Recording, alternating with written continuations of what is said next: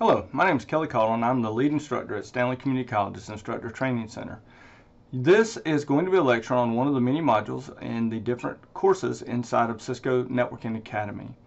I'm going to cover many different items in these particular lectures, uh, starting with CCNA, going possibly all the way through DevNet. But to begin with, one of the things I want you to know is I'm I go with a good enough philosophy, and that is no lecture is perfect. So in other words, if you're in the classroom with me, uh, we could be interrupted by a person knocking on the door, my phone could ding, your phone could ding. I'm not going to have perfect lectures, and therefore my recorded lectures will not be perfect. You may hear my phone ding, you may hear a phone call start during one of the, the lectures, and I'll pause the lecture and then start back over. I'm trying to give you a good enough lecture to help you learn the materials. I also want you to know if you are not taking classes at a Cisco Academy, in other words, you're watching these videos on my YouTube channel and you're not trying to participate in an actual Cisco Academy, I strongly recommend that you go to www.netacad.com, scroll all the way to the bottom to where it says Find an Academy. I'm going to put in here uh, the state, uh, city that we are in. So um, in case I am in Albemarle,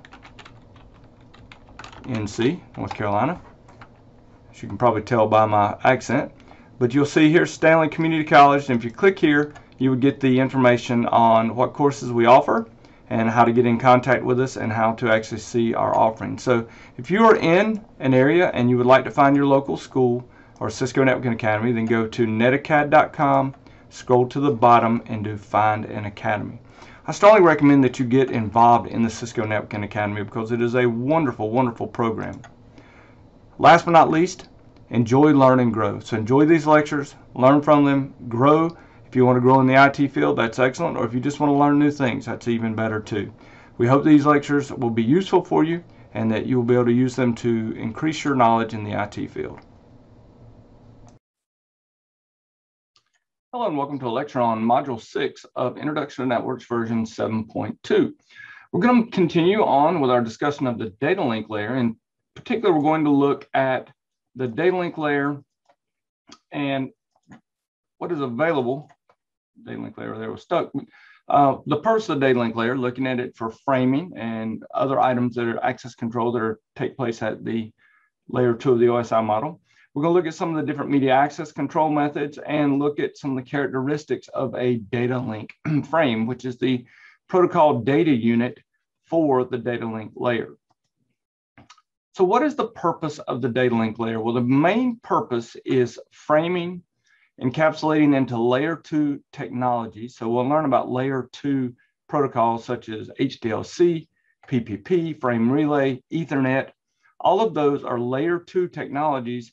And the data link layer is responsible for taking the information that comes down from the upper layers and packaging it into a frame that then can be placed onto the physical media or medium. And to do that, we will also see that the data link layer deals with the access methods that are needed to get onto a particular media or medium. And there are a couple we'll talk about that are some are contention based, some are contentionless. We discussed that a little bit in module uh, five.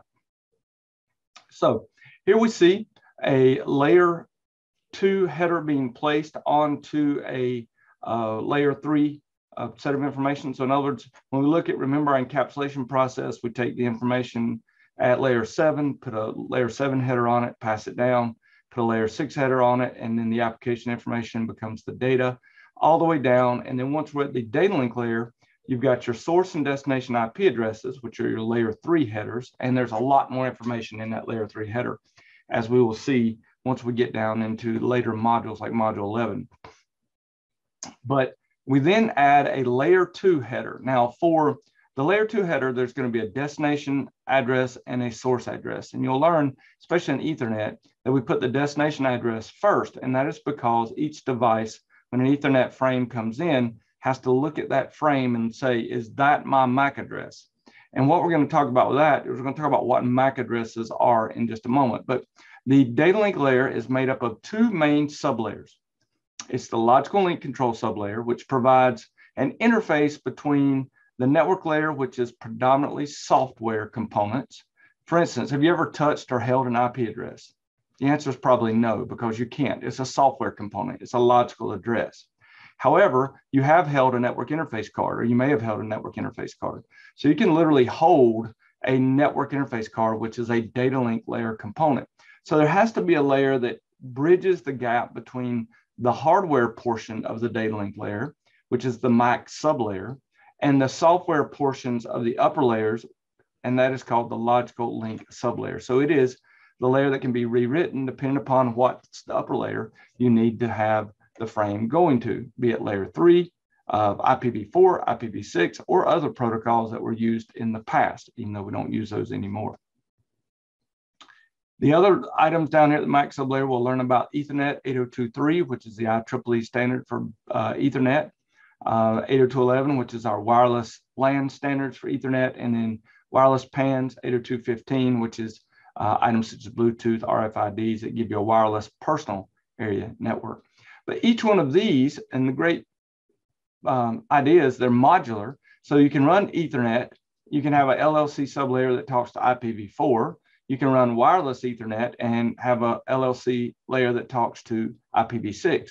So you can have easy and seamless integration across your layer two protocols using this modular nature of the OSI model. So one of the things we have to do is we have to have a way to provide access to the media or medium. Now, in the old days, um, everything was not just Ethernet, but everything was actually what we called um, a bus network. So what I'm gonna do here is I'm gonna pull up my whiteboard and I'm gonna draw you a bus network. So in the old days, we had a bus network. It was literally physically a bus. You'd have a terminator on this end. Over here, you'd have another terminator. And then you would have PCs sitting here like this. And again, I'm not a great artist, so you'll just have to deal with the, the lack of art here. Here's another PC. And then we'll just do four PCs on here so it won't be so tedious to watch me draw. Right. So we have PCA here, PCB, PCC, and PCD. So in the old days, we had a true bus network. And what would happen is when A would create a frame, it would have in that frame, obviously there was a header. And on that frame header, there would be two portions. There would be on the one side, you'd have your destination MAC address.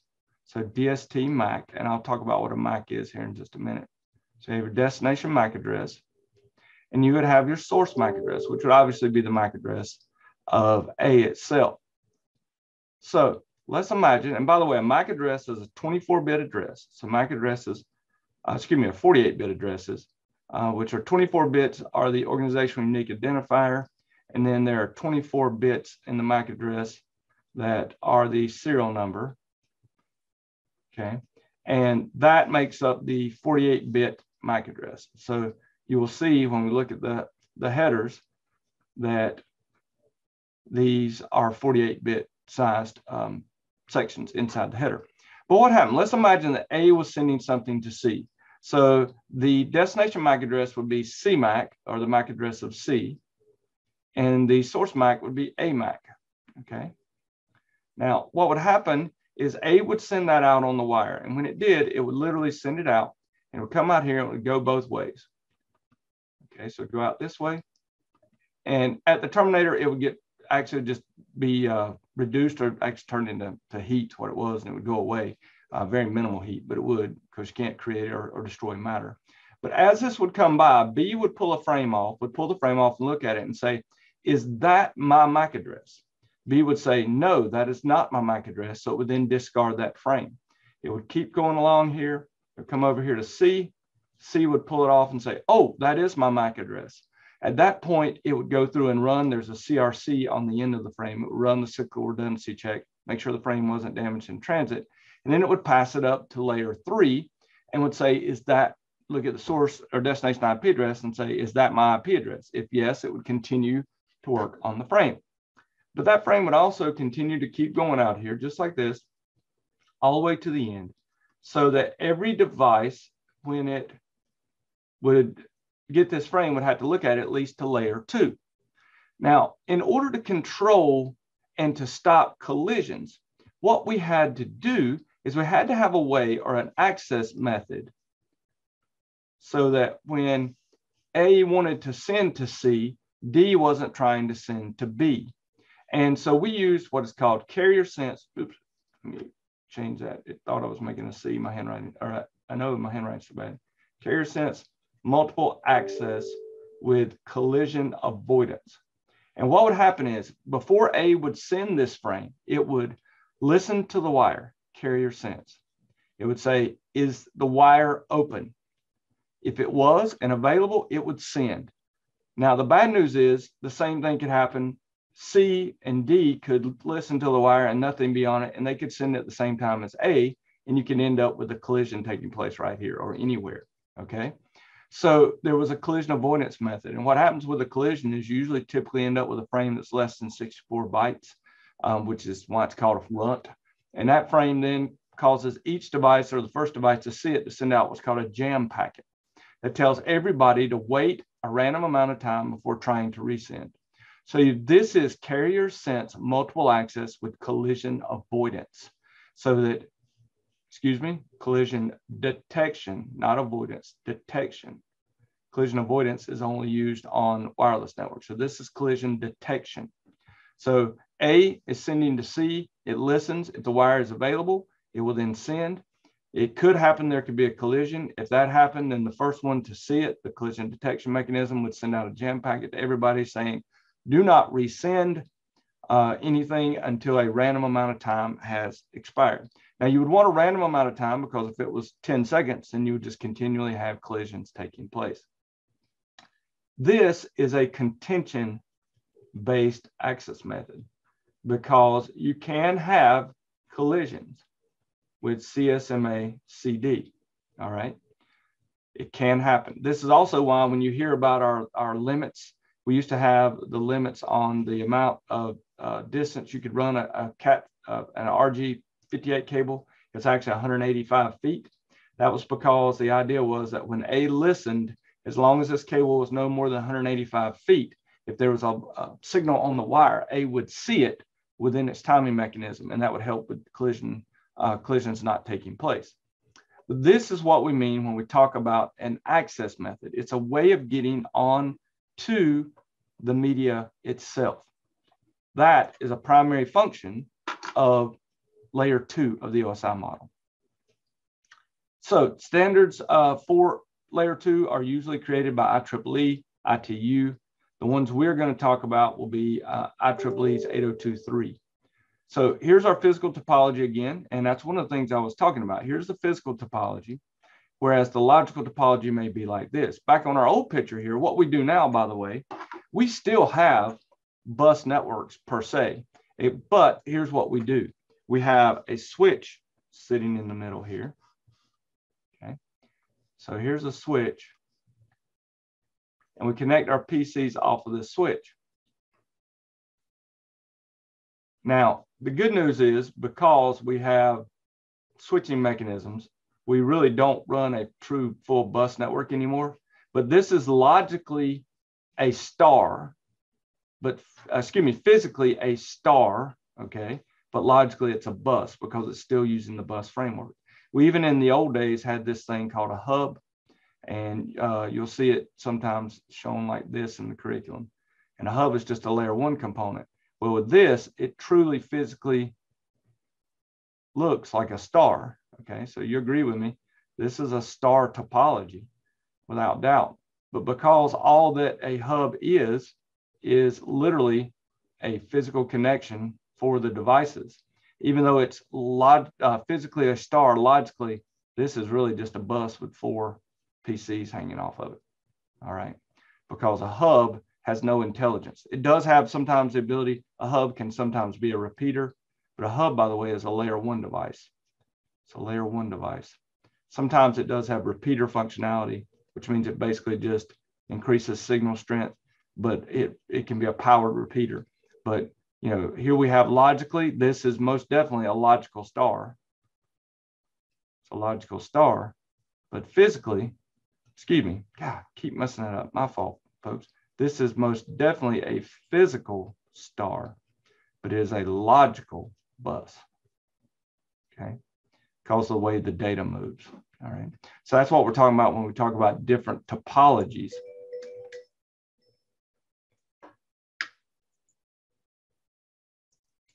So just because you have one physical topology does not mean that is the same logical topology on the network.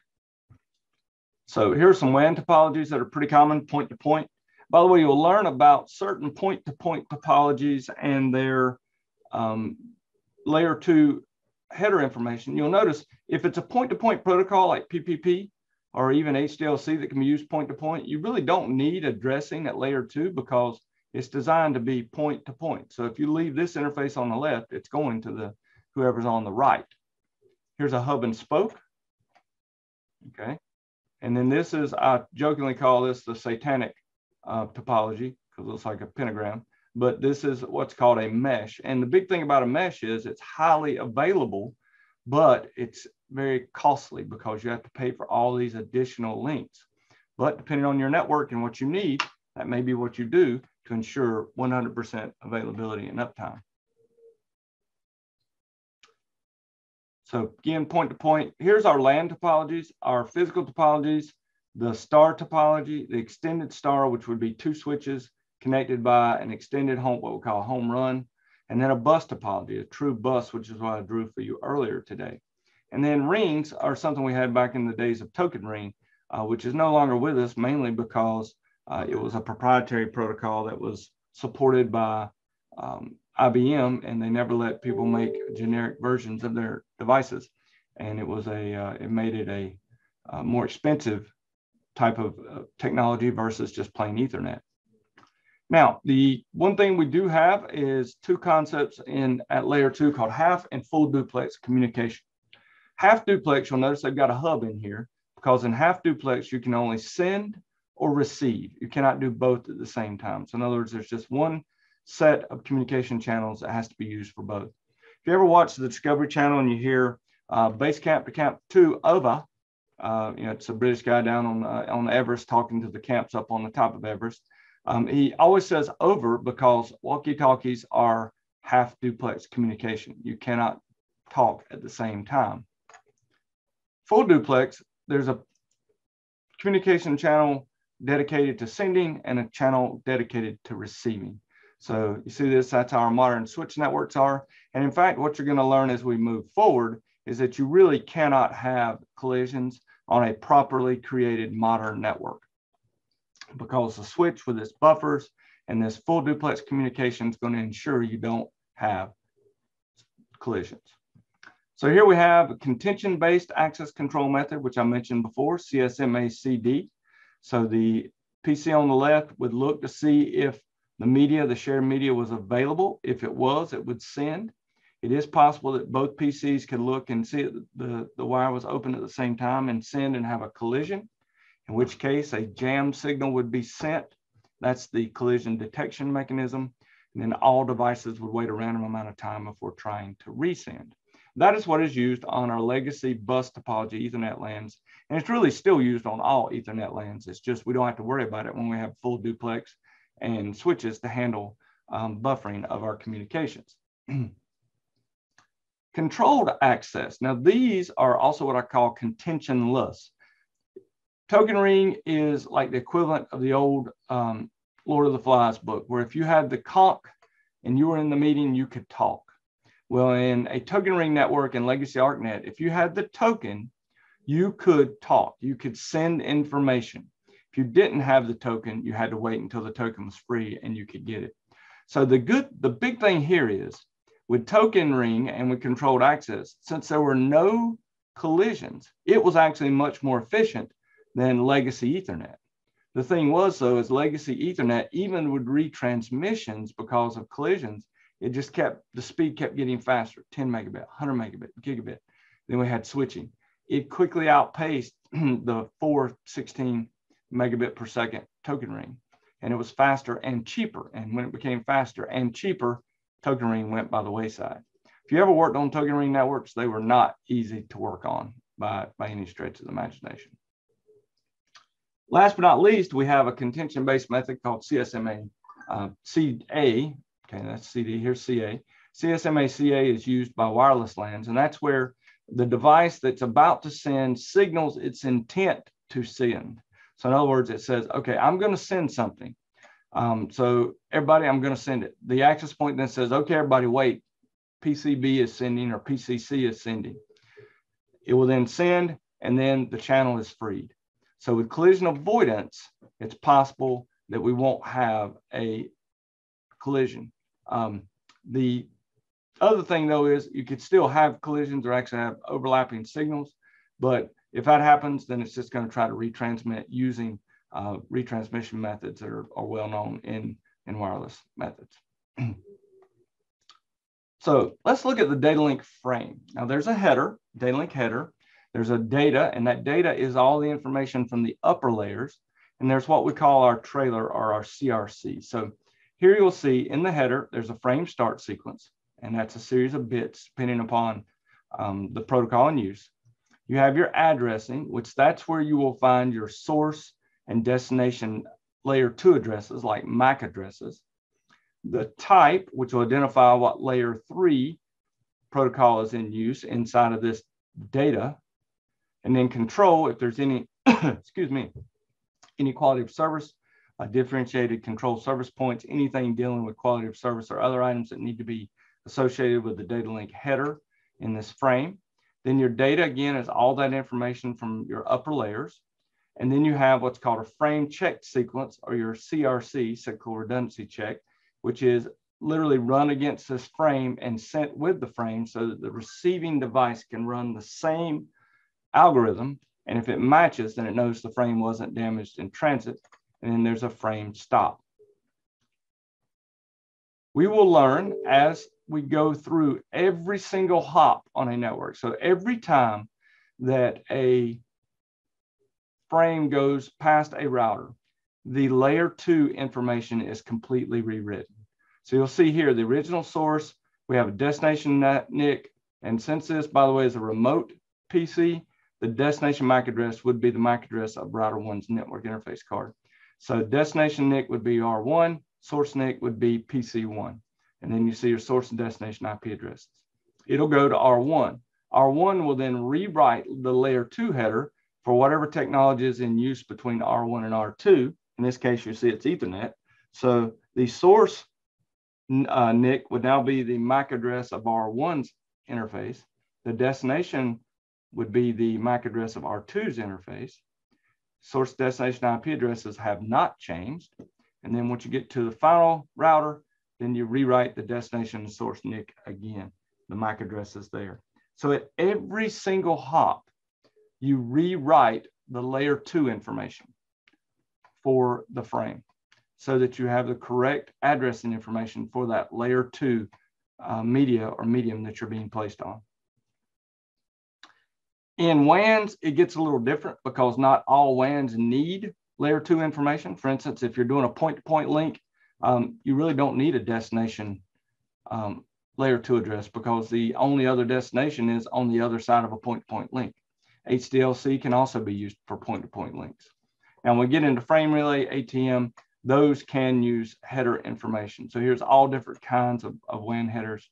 There's a wireless frame. It comes in, it's rewritten as a PPP frame. Again, rewritten as HDLC. So every time it goes through a router, it may become frame relay here, and then finally Ethernet. But every time it goes through a router, the layer two header could change both the information in that header and maybe even the entire header type as the type of protocol in use is changed between each hop. So again, the big purpose of the data link layer is framing and error, error checking at layer two. We have to worry about access control. So carrier sense multiple access with collision detection, carrier sense multiple access with collision avoidance.